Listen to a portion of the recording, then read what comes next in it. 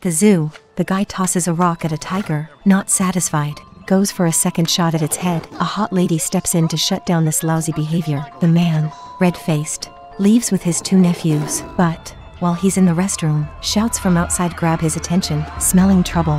He hurries out.